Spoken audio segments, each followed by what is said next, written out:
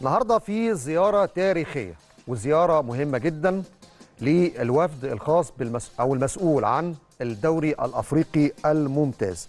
هذا الوفد هيكون مسؤول من اي تو زد على كل التفاصيل المتعلقة بهذه البطولة اللي هتنطلق في الفترة من 20 أكتوبر حتى 11 نوفمبر. معاكم على الشاشة لقطات خاصة وحصرية من استقبال هذا الوفد صباح اليوم في مقر استاد القاهرة الدولي شايفين طبعا مسؤولين من النادي الأهلي المهندسة حنان الزيني مسؤولة اللوائح واداره اللوائح والتراخيص الأستاذ خالد نصار مدير إدارة المسابقات في الاتحاد الإفريقي دكتور عمرو محب.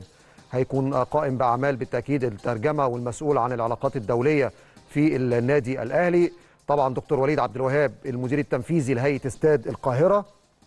وكمان وفد رفيع المستوى من الاتحاد الإفريقي ومن الشركة الإيطالية والفيفا.